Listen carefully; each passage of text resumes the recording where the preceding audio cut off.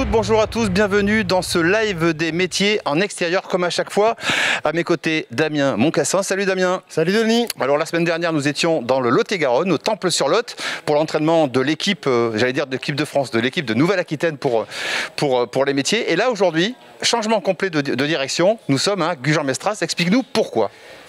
Alors Gujan-Mestras, eh ben, d'une part parce qu'on a le lycée de la mer qui a eu le, on a le plaisir d'être accueilli dans, ce lycée, dans ce magnifique atelier de charpente marine parce que euh, ben, la Nouvelle-Aquitaine a quand même un, large trait de côte euh, sur, euh, sur le bord de la région et donc il y a quand même pas mal de métiers qui y sont pratiqués, traditionnels ou plus industriels et donc c'est l'objet de, de cette émission. Alors pour nous en parler, notre premier invité, Gérard Carrère. Bonjour Gérard.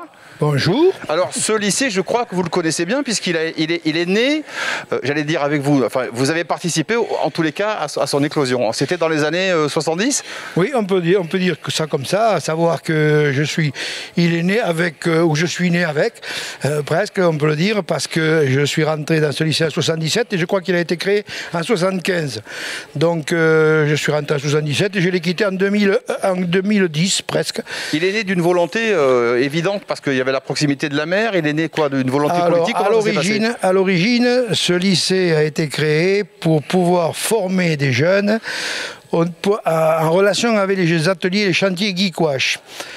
C'était le, le, but de l'opération, c'est-à-dire former des, des, ouvriers pour alimenter les chantiers euh, locaux.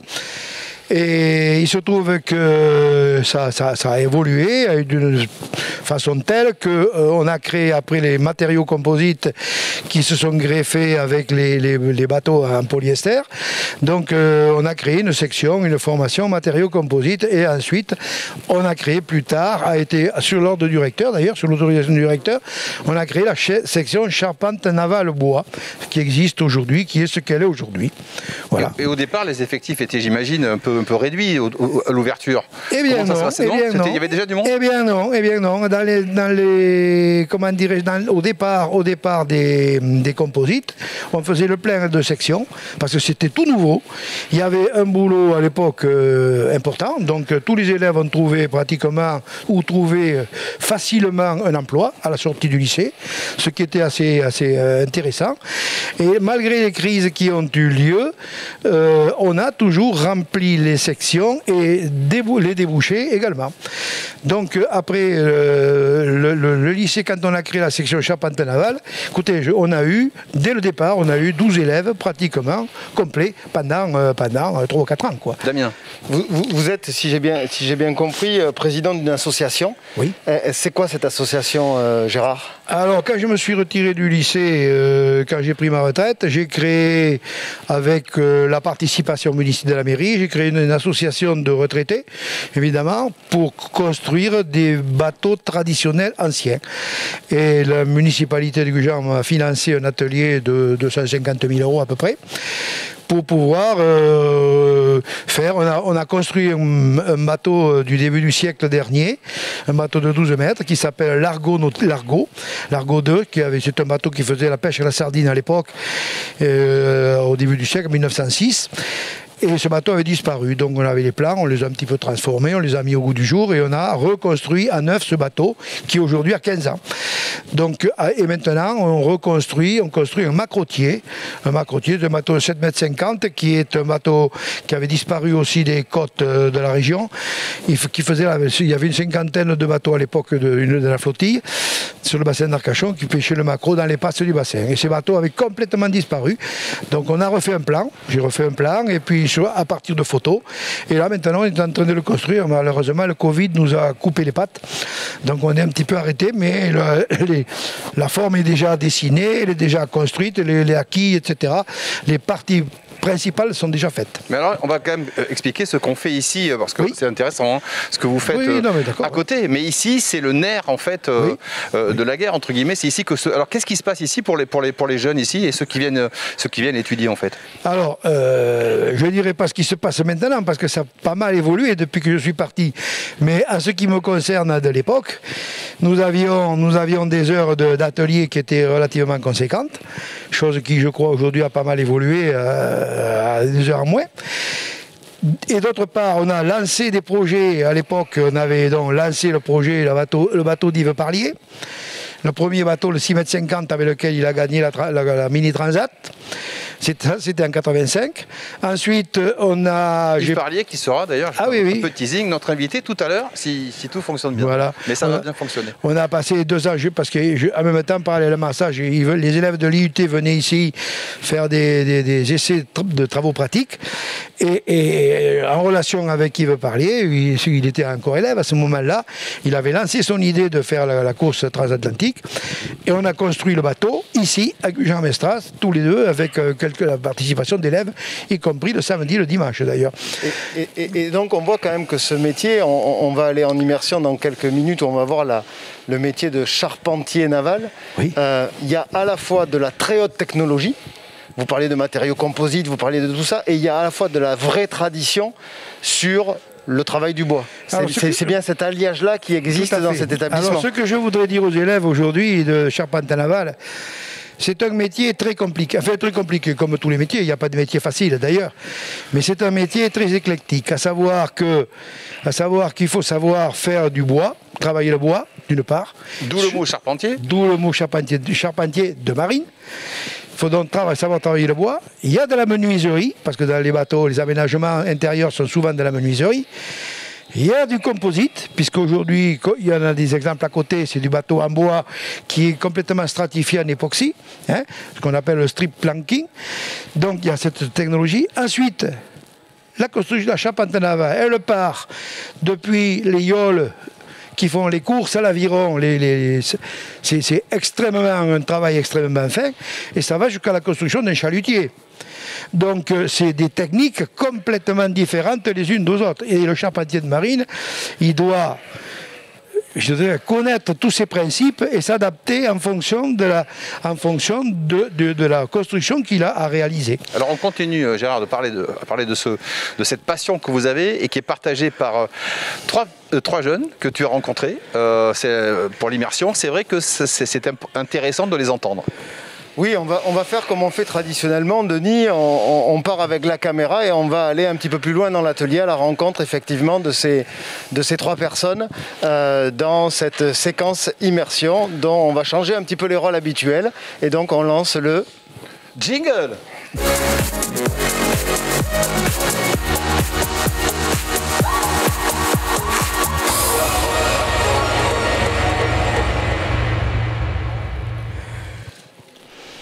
Oui, Denis, on s'est déplacé comme convenu de quelques mètres euh, par rapport au, plateau. Et donc, on est dans l'atelier de charpente marine avec euh, Baptiste, Pierre et Guillaume. Bonjour, messieurs. Bonjour. On va se rapprocher de, Baptiste. Baptiste, tu peux nous expliquer un petit peu euh, ici qu'est-ce qui se passe dans cet atelier? Ben, Ici, dans cet atelier, on, déjà, on fabrique des bateaux de plusieurs types, en, tous en bois ou parfois même en en stratifié par-dessus une couche plastique. Et puis. Euh, tu, tu, tu, tu as un, parcours scolaire avant d'arriver ici, tu prépares un CAP, je crois. Euh, qu'est-ce que tu as fait un petit peu avant? Mais, euh, donc avant d'arriver à ce CAP que je passe cette année, j'ai fait un bac professionnel technicien menuisier agenceur en, trois ans. Donc oui, un bac, c'est ça. D'accord, tu, tu, as fait ce bac où? Tu es de la région de Gujan-Mestras ou tu arrives d'un petit peu plus loin? Alors non, moi j'habite à Pau et euh, pour le plus proche, c'est euh, Saint-Jean-Pied-de-Port pour faire mon, euh, mon bac. D'accord. Et ce que tu fais ici, ça te plaît? Ça t'ouvre des perspectives en termes d'emploi derrière? Ah, Oui, oui, ça, me plaît. Ça fait maintenant très longtemps que je voulais faire ça. Et oui, comme on est très peu à le faire, il y a pas mal d'emplois oui, dans, le, dans ce domaine. je crois que cette formation est une formation dans laquelle se côtoient à la fois des scolaires, des apprentis des personnes en reconversion, des adultes. Euh, comment ça se passe cette, euh, cette communauté en fait entre les différents statuts de formation qui existent dans cette, euh, dans cette action? Alors oui, comme vous l'avez dit, il y a, y a, donc des apprentis, des personnes scolaires comme moi, ou même des, des personnes des plus âgées en reconversion professionnelle. Oui, oui, ça, ça se passe très bien à l'atelier. tout le monde vit bien ensemble, on va dire. Puis euh, voilà, on, s'aide parfois. Ah, on imagine que c'est une vraie richesse. On va aller voir d'ailleurs euh, pour ça, on va aller voir Pierre, euh, qui je crois a attaqué sa formation en reconversion il y a, quelques semaines. C'est bien ça, Pierre? C'est ça, ouais, correct. Donc ben voilà, en fait j'ai travaillé pendant une dizaine d'années dans un secteur totalement différent avant de m'engager dans cette formation. Et du coup, le, métier du bois était quelque chose qui m'intéressait depuis des années, et les bateaux aussi surtout. Donc euh, j'ai décidé, j'ai pris la décision de démissionner de mon ancien emploi et euh, de me lancer là-dedans. D'accord, si, si ce n'est pas indiscret, euh, quel, était le, métier dans lequel, dans lequel tu étais avant, avant de faire ce choix-là? J'étais dans le forage pétrolier. D'accord. Et donc le forage pétrolier, est-ce que tu y retrouves, euh, parce qu'évidemment les, parcours de formation et de vie sont aussi un cheminement, euh, est-ce qu'il y a un certain nombre de choses que tu retrouves euh, à travers ce que tu es en train ici d'apprendre depuis quelques semaines? Je, pense à l'aspect sécurité déjà, lié aux outillages qu'on utilise.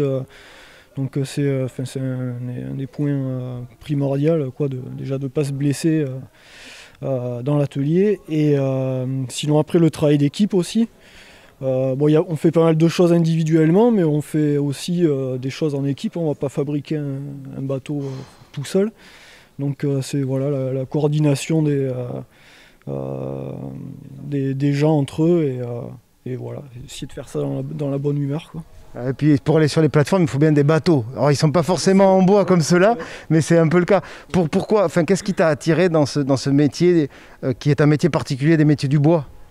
Euh, bon, mais moi déjà c'était euh, travailler sur des bateaux en fait, voilà des, bateaux en bois et puis participer aussi un peu à la sauvegarde du, patrimoine local parce qu'il y a des, bateaux typiques du, de chaque région, du bassin d'Arcachon par exemple et, euh, mais aussi le, maintenir le savoir-faire euh, de, ces constructions qui, bah, qui pourraient être amenées à se perdre s'il n'y a pas des, des, des, gens qui veulent se former pour, euh, pour faire perdurer ces, ces savoir-faire.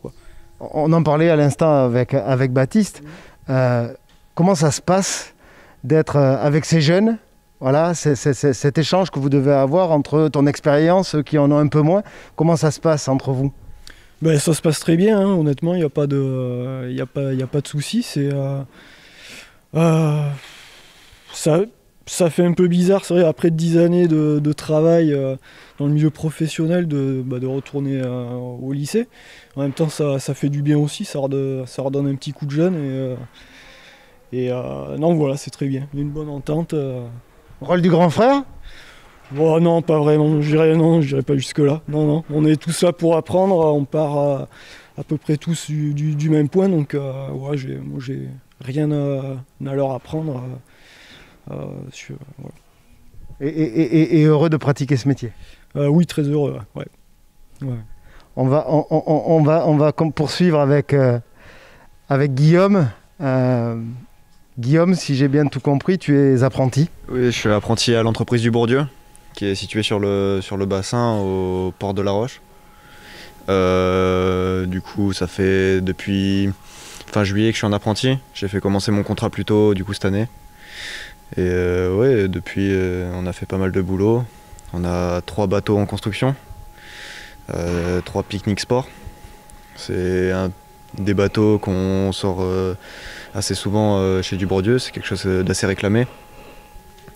Du coup, ouais, on a, du bon boulot. Euh, le live des métiers, c'est une émission qui aide à, s'orienter, à être informé un petit peu sur les métiers. Je l'ai posé la question à, Baptiste ainsi qu'à Pierre. Euh, ton parcours, toi, avant de venir ici euh, sur, sur ce lycée Alors moi, de base, je viens de charpente, de charpente traditionnelle. Donc j'ai fait de la charpente saturbois, un bac. Ensuite, j'ai fait du coup le, CAP à Gujan, donc, euh, qui exigeait d'avoir un diplôme dans le bois pour euh, pouvoir le réaliser. Et ensuite, euh, par la suite, du coup, j'ai fait le BP et, je suis là. quoi. On a l'impression que tu as l'air assez, assez satisfait d'être là, on le, voit, on le voit dans tes yeux. pourquoi avoir fait ce choix-là? Parce que je voulais un peu plus d'expérience, je voulais mieux connaître mon métier, et ce qu'il faut savoir aussi, c'est que dans le métier, généralement, euh, les entreprises recrutent beaucoup plus par l'apprentissage que des personnes ayant des diplômes. D'accord. Euh, on, va profiter, euh, on a quand même quelques bateaux autour. ça serait dommage qu'on ne fasse pas profiter aux personnes qui vont regarder l'émission. Est-ce que tu peux nous raconter ce que, par exemple, sur un bateau comme celui-là, quels sont, qu'est-ce que vous y faites Parce que là, on voit qu'il est quand même particulièrement en mauvais état. et donc, votre objectif, c'est de les remettre totalement en état pour les remettre à l'eau Ouais, celui-là, c'est on a eu euh, pas mal de boulot. On a, donc là, tout ça, c'est ce qu'on appelle les bordés. Et les trois premiers, en partant de l'acquis, ont un nom différent. Donc le premier, ça va être le galbord, le ribord et le contre-ribord. Là, on a dû changer tout le galbord. Euh, on avait un défaut euh, au niveau d'une membrure. Donc les membrures, c'est tout ce qui fait, par exemple, comme les côtes d'un corps humain. Ça va, nous faire toute une ossature. Une sorte de squelette, quoi, en fait. Exactement. Ça va être euh, le, squelette du bateau, donc euh, la quille qui serait la colonne vertébrale, les membrures qui seraient du coup les côtes. Et euh, du coup, on avait une, on avait une membrure qui n'était pas, qui pas bien faite, donc qui nous a éclaté à un endroit le galbord. Du coup, on a dû l'enlever et on a encore de, de reconstruction. D'accord. Un, bateau comme cela, dans l'état dans lequel il était, et, pour le rendre euh, navigable, euh, c'est combien de temps de travail d'après toi? Ah, D'après moi, je sais pas, enfin, on a, il y a quand même encore pas mal de boulot dessus. On a, on a, des abouts de bordée, donc c'est les, petites pièces, euh, des petites pièces racolées sur un, sur un bordé, ce qui est normalement pas faisable traditionnellement. On a des, retouches à faire, beaucoup de lissage pour avoir euh, du coup une belle forme, euh, une belle peinture à la fin. Parce que là du coup c'est pas de la, c'est, pas vraiment une peinture, c'est c'est nous ce qu'on appelle du minium, c'est une, espèce de protection qu'on met euh, sur le bois. D'accord. Le temps estimé, honnêtement, je ne pourrais pas le dire là. D'accord. On va pouvoir se retourner un petit peu dans l'atelier. Alors là, on va voir quelque chose de beaucoup plus lissé, de plus, un peu plus abouti. Est-ce que tu peux nous, nous, en dire, nous en dire quelques mots sur cette, sur cette coque? Très bien. Déjà, le, ce bac, c'est le nom du bateau, euh, on l'a récupéré où il n'y avait plus de. On avait des bordées, des bordées traditionnelles. Et euh, on a eu à faire du coup un changement de toute de la coque. Donc euh, celle-là, on l'a réalisée l'année dernière. On a eu. on l'a fait, je dirais, quelques, quelques mois pour réaliser tous les côtés, les deux côtés, comme euh, on avait on n'avait pas l'expérience, on n'avait pas la technique pour, sur le moment, donc ça nous a permis d'apprendre euh, le, bordage. Là, c'est des plaques de CP qu'on stratifie, qui sont euh, collées l'une de l'autre enfin, avec un assemblage qu'on appelle un scarf. C'est taillé en, pointe et collé l'une à l'autre. Les plaques sont vissées du coup dans les, dans les membrures. Euh, le schéma de l'ossature euh, reste à peu près le même. D'accord. Euh, la, grosse différence, c'est qu'à l'avant du, bateau, nos membrures, nos, nos, bordées commencent à prendre un très gros tournant. elles sont énormément ployées et on ne peut pas les garder en une plaque. Du coup, ce qu'on est obligé de faire, c'est faire des petites lames, faire un collage de deux lames, donc une lame dans un sens et une lame dans l'autre collé par-dessus. Sinon, euh, c'est impossible de, donner la forme euh, à une plaque de CP. Euh. En tous les cas, à travers les propos que tu tiens, le vocabulaire, etc., on, mesure la technicité qu'il y a à l'intérieur de ce métier. Je crois qu'il y a ton formateur, votre formateur d'ailleurs à tous les trois, qui nous attend un petit peu plus au-dessus de l'atelier sur un projet un peu particulier. On, on va aller le rejoindre? Très bien. Donc on, a traversé l'atelier et donc on est monté à l'étage. Peut-être qu'après on, verra des images de l'atelier d'en haut et puis on verra le plateau de l'émission. Euh, Guillaume, euh, donc on, est monté pour voir ce projet. On est avec ton formateur. Donc peut-être déjà euh, le saluer et puis lui demander peut-être son prénom tout simplement. Richard, bonjour. Ok, est-ce que vous pouvez nous expliquer tous les deux en binôme à quoi correspond ce projet très particulier? Alors, euh, donc, le projet, c'est une construction euh, d'un bateau de course des années 60, en construction légère pour qu'on puisse la réaliser dans l'année, afin que les élèves puissent voir le début et la fin d'un projet. Donc, euh, sinon, c'est trop copieux, ils ne peuvent pas finir. Donc, on est parti d'une image sortie d'un magazine, et eux, ils sont travaillés à partir de l'image.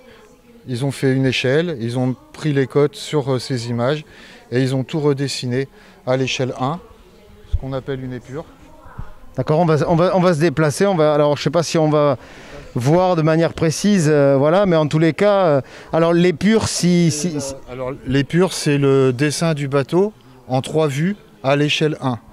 Voilà. Donc peut-être que Guillaume, qui a participé à l'épure, en parlera mieux que moi. Bah, là, du coup, on peut voir les différentes vues. Donc euh, on commence.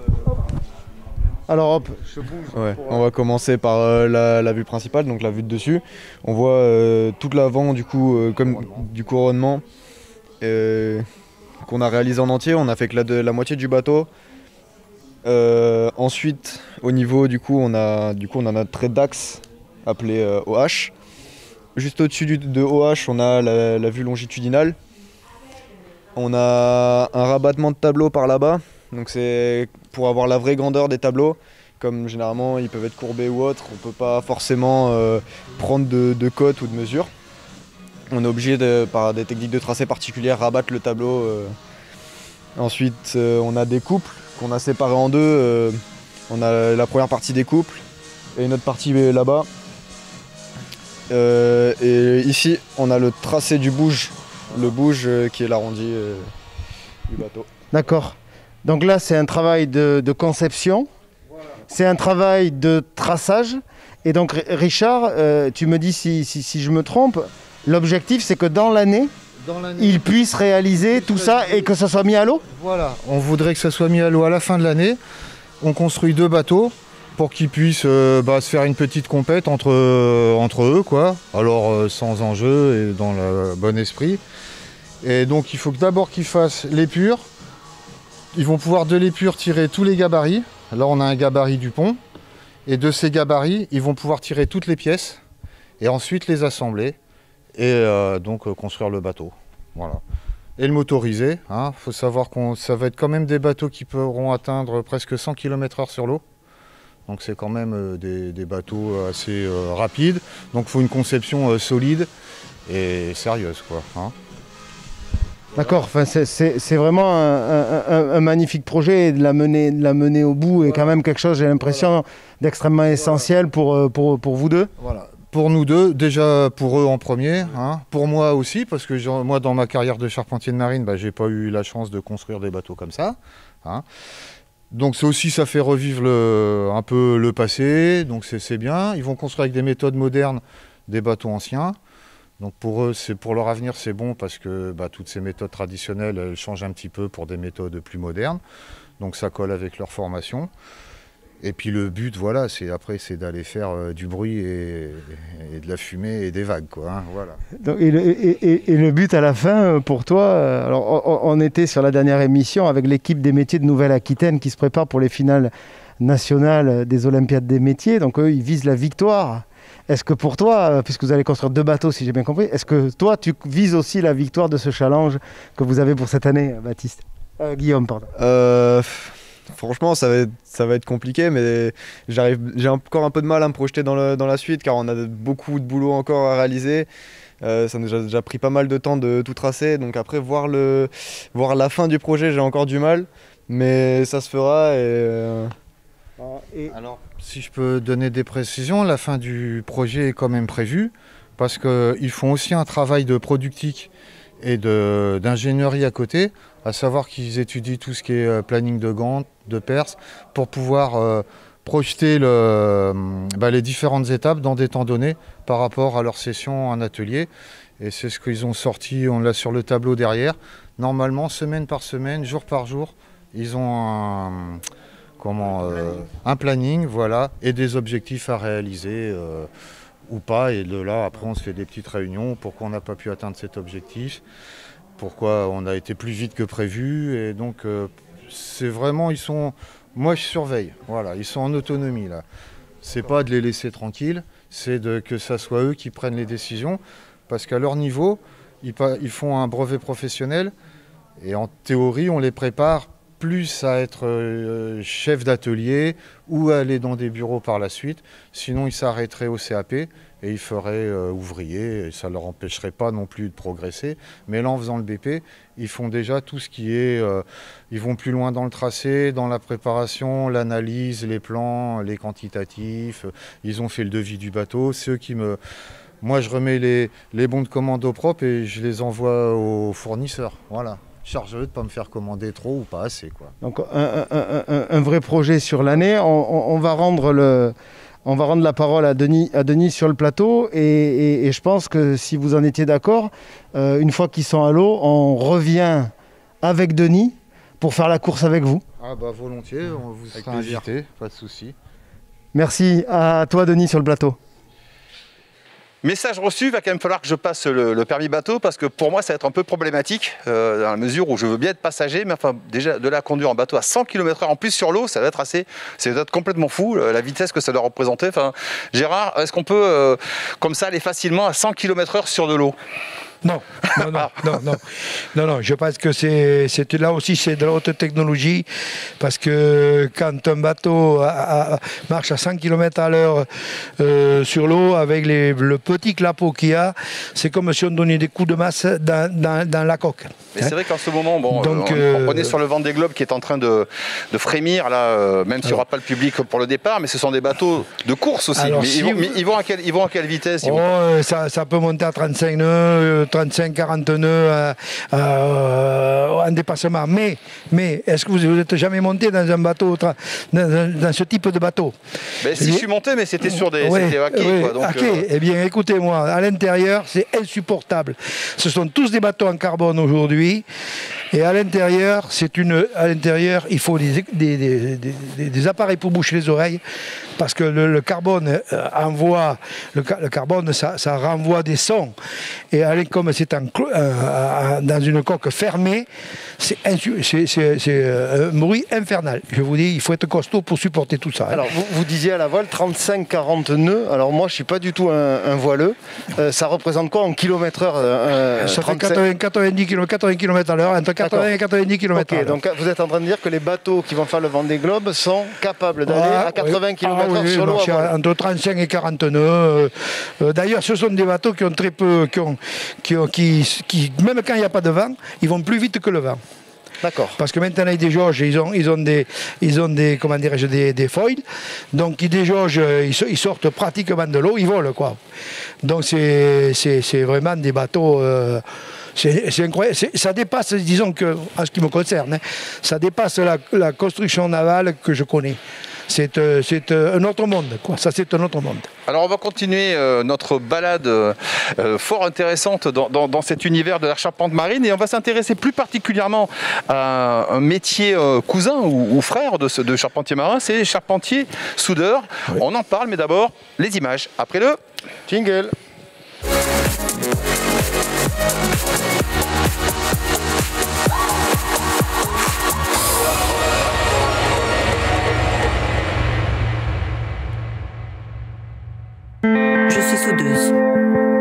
Je suis charpentier métaux. Je prépare les assemblages à partir de plans conçus par les bureaux d'études. Je mets en place, j'ajuste, je consolide les éléments de structure afin d'optimiser au maximum les interventions des soudeurs. Je suis amené à utiliser différents moyens de levage. La maîtrise des différentes techniques de coupe et de soudage sont des compétences indispensables pour exercer ce métier. C'est un poste où il faut faire preuve de rigueur et d'autonomie. Je suis en charge de souder des équipements pour l'offshore ainsi que les éléments pour les navires. Je travaille en équipe dans une volonté d'efficacité, de réalisation afin d'optimiser les délais de chaque projet. Vous êtes capable de lire des plans et de la documentation technique complexe, de les analyser et de maîtriser les différentes techniques de soudage pour que les structures que nous réalisons soient irréprochables. La rigueur et l'autonomie sont des qualités nécessaires pour exercer mon métier. Nous allons partir à Brest, euh, direction la Bretagne, pour évoquer donc euh, ce, métier avec Dominique Senedo, qui doit nous entendre, directeur du campus des industries navales. Bonjour. Bonjour Dominique. Oui, bonjour. Donc vous êtes à Brest Oui. Donc parlez-nous donc de ce, ben, déjà de, votre rôle, de votre fonction. Oui, donc euh, ben, je pense qu'il est nécessaire de, à partir du, film que vous avez vu de, relier ça avec la démarche euh, que, que je pilote, qui, s'appelle le campus des industries navales. En fait, euh, en 2018, il y a eu la création de cette démarche, qui est une démarche interrégionale et qui s'appuie en fait sur deux constats. C'est que un, il y avait des difficultés de recrutement euh, de la part des industriels et un manque de compétences sur un certain nombre de métiers clés, dont le métier de charpentier-soudeur, mais euh, sur d'autres métiers de production et de, et de bureaux d'études, où euh, on n'avait pas suffisamment de... Enfin, les industriels disent on n'a pas suffisamment de, de viviers, et en plus, les gens qui, qui sortent de formation ne correspondent pas à nos exigences. Et donc collectivement, euh, une démarche interrégionale euh, a été créée avec euh, aujourd'hui il y a cinq régions Normandie, Bretagne, Pays de la Loire, Nouvelle-Aquitaine et région Sud. Il y a six industriels qui sont maîtres d'œuvre du naval qui sont présents dans ces régions. Il y a les rectorats des régions concernées, plus Pôle Emploi, le, ministère du Travail et puis trois fédérations professionnelles, enfin deux fédérations professionnelles au travers du GICAN, le groupement d'industrie, construction et activité navale, et puis l'UMM pour la branche. Et euh, ce qui a été demandé dans cette démarche interrégionale, c'est de, de garantir la, la disponibilité d'une main-d'œuvre nationale qualifiée, ancrée dans les territoires euh, littoraux de manière à, accompagner la croissance euh, de la filière et de son savoir-faire, puisque la filière, au départ filière navale et puis maintenant filière maritime, je vais repréciser ça dans un petit moment, euh, était en pleine croissance, en tout cas euh, en pleine croissance dans, cette, dans cette décennie. Alors, une question, une question Dominique Sendo, ça représente combien de combien d'emplois potentiels? Alors, si on prend la filière des industriels de la mer, qui maintenant euh, euh, qui a été créée euh, parmi les 18 filières industrielles en 2018. la filière, c'est 120 000 emplois aujourd'hui et elle a envisagé de recruter dans cette décennie 72 000 personnes, dont 22 000 créations nettes d'emplois. je rappelle pour que le, la filière des industriels de la mer, c'est les activités navales, civiles et militaires, c'est les activités de, de l'industrie nautique et les services associés, ce sont et les énergies marines. Et en fait, euh, euh, parmi ces, ces, besoins en recrutement, euh, la concentration qu'on a faite au niveau du campus d'industrie navale, c'est de travailler sur une vingtaine de métiers en tension, qui sont les plus en tension. Et aujourd'hui, la projection que l'on a, c'est en gros 2000 recrutements dans ces métiers en tension pour par an euh, sur tout le territoire national. Alors, on va continuer euh, de discuter ensemble, euh, mais je vous propose, Dominique Sendo, de, s'intéresser aux architectes systèmes avec ce, petit clip explicatif, et on en parle juste après. C'est un métier à la pointe de la technologie, on avance sans cesse dans la, dans la conception de nos systèmes. Je suis à Naval Group depuis 6 ans et je travaille sur un programme de sous-marin export. Je suis euh, systémier euh, sécurité. Ça consiste à, concevoir des systèmes. On est sous la responsabilité des architectes, euh, la responsabilité technique tout du moins. C'est eux qui donnent les grandes lignes directrices pour le bateau. Je m'occupe plus particulièrement du système des ballasts qui permet au sous-marin de faire surface, de plonger quand il veut, de l'appareil à gouverner. Et donc mon travail, ça consiste à concevoir ces systèmes, vérifier qu'on peut les mettre à l'intérieur du bateau, qui vont fonctionner correctement, s'interfacer avec les autres systèmes du bord pour que tout ça puisse s'intégrer correctement dans le bateau. La sécurité sur un sous-marin, c'est euh, les systèmes d'évacuation et de sauvetage. La lutte incendie, c'est aussi tout ce qui va être attrait à la détection voie d'eau et fermeture d'urgence. En gros, c'est comme dans un avion, euh, le parachute, c'est des systèmes qu'on ne veut pas utiliser, mais qu'on est content d'avoir avec soi. Il faut qu'on gère un équipage, c'est-à-dire qu'on le maintienne en sécurité pendant toute la durée d'une mission, qu'on ramène le bateau sans casse. Il faut que tout ça fonctionne bien pendant toute la durée de la mission et pendant toute la durée de la vie du bateau. C'est toujours un compromis à trouver entre des, technologies qui sont très innovantes et des technologies qui doivent être sûres pour le marin, qui doivent lui donner confiance et lui donner les moyens de réussir sa mission. On doit toujours être à l'écoute des, besoins euh, du client et des autres personnes travaillant sur le projet. C'est un métier où il y a beaucoup de défis, où on s'ennuie pas du tout. Le quotidien ne se répète jamais. J'ai la chance de travailler sur un projet qui est relativement jeune, où euh, on a une ambiance, une écoute qui est vraiment agréable. Dans cette entreprise, il faut avoir conscience qu'il y a une myriade de, de métiers métiers qu'on peut faire. C'est quand même un domaine où, il y a beaucoup d'évolutions technologiques qui arrivent en ce moment. Si on a envie d'évoluer toute la vie dans cette entreprise, c'est possible parce qu'il y a un millier de domaines euh, qu'on peut visiter. Quel que soit le nombre d'années qu'on ait travaillé euh, dans le, dans le groupe, euh, on a toujours quelque chose à apprendre. Sous-marin, c'est un produit très complexe qui appelle par sa nature l'innovation et le dépassement de soi impressionnant. Alors on est loin du Nautilus de Jules Verne. Là on est vraiment dans, on est vraiment dans la technologie euh, de, pointe. Euh, j'imagine que vous êtes d'accord, euh, Dominique Sendo. C'est là on est vraiment dans, le high tech, hein, tech. Ah ben oui, c'est des produits en particulier. je dirais beaucoup de choses importantes ont été dites dans dans, ce petit film. c'est on est sur des produits high tech et des, produits à forte valeur ajoutée qui nécessitent des savoir-faire qui s'acquièrent sur la durée. alors c'est vrai que pour le naval, puisque c'était l'exemple était plutôt sur le naval, on est sur du temps long, c'est-à-dire qu'en fait, euh, il faut en gros 4-5 euh, ans pour concevoir et, construire un, bateau, que ce soit un sous-marin ou un bâtiment de surface, et puis il y a 40 30 à 40 ans de durée de vie, puis après il y a la période de démantèlement. Et donc en fait, il faut qu'on sache les industriels doivent, garantir la pérennité des compétences sur toute la durée de vie des, navires. Bonjour euh, Damien, je ne sais pas si, tu nous vois, mais au moins tu nous entends. Euh, tu parlais d'une vingtaine de, métiers. On a vu des métiers un peu traditionnels et celui-là qui est un métier de haut niveau. Euh, est-ce que tu peux nous balayer un petit peu, puisque je crois que vous recrutez du bac jusqu'au bac plus plus. Est-ce que tu peux nous indiquer comment vous faites par rapport à ça et puis effectivement que l'ensemble des formations sont visées Alors, euh, le, comme je disais tout à l'heure, euh, les besoins en recrutement de la filière, c'est, on va dire, 72, en gros 72 000 recrutements sur les prochaines, sur les 10 prochaines années. Sur ces 70 000 recrutements, en fait, on adresse en gros 150, 200 métiers différents. Et euh, aujourd'hui, le campus, s'est concentré sur les métiers qui étaient, les plus en tension parce qu'on ne trouvait pas de, ressources, qui sont plutôt des métiers d'ouvriers, techniciens, techniciens supérieurs, donc de formation bac à bac plus 3. Euh, et euh, mais ça ne veut pas dire qu'on recrute pas au niveau ingénieur, hein, mais niveau bac à bac plus 3. et le rôle du campus, c'est de mettre en relation les industriels et euh, les opérateurs de formation et, euh, et puis les, les, futurs, enfin les apprenants, qu'ils soient jeunes ou qu'ils soient en reconversion, de manière à, à attirer et après à donner, à apporter des bonnes compétences euh, pour une meilleure intégration dans dans les entreprises. On est dans le live des métiers, c'est une émission qui euh, a pour but d'informer sur les métiers et de participer à l'orientation. Si je comprends bien, le campus des industries navales, c'est vraiment une démarche d'information et d'orientation qui est engagée. Oui, alors pas que, c'est une démarche d'information et d'orientation, euh, parce que il faut qu'on, et au travers de, ces petits films et au travers de, notre outil, le navire des métiers, que lorsqu'on le déploie et, aujourd'hui on, on, est un petit peu scotché du fait du, Covid.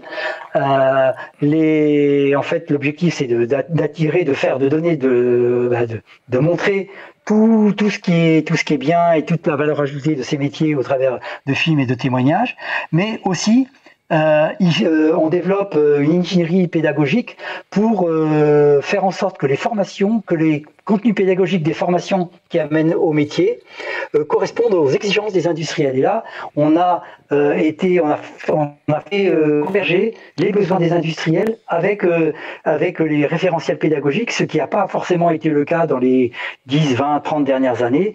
Et là, vraiment, les industriels sont écoutés et on fait en sorte d'avoir des référentiels pédagogiques qui vont correspondre aux besoins des industriels.